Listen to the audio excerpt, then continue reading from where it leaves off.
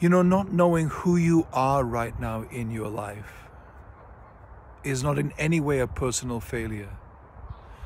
I've had many times in my life when I have been confused, disoriented on my identity in that season of my life.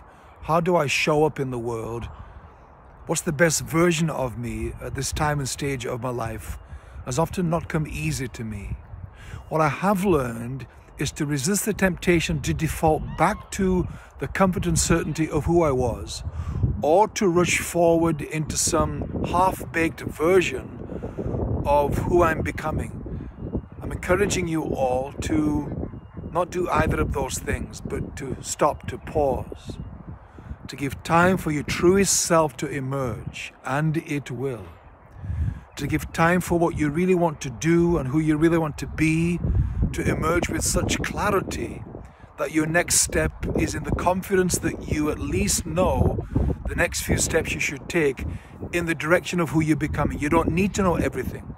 But if you have the next few steps clearly you're able to take, then do that. And it won't feel great and it won't feel overstrong and it won't feel to have great clarity.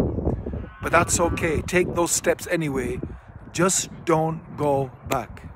It's all good. I love you guys. Thank you for all the love that you pour out to me and the comments that you send to me. Um, I feel seen and respected and loved by you all, and I hope you feel that by me too. Thanks for being here. Much love to you all.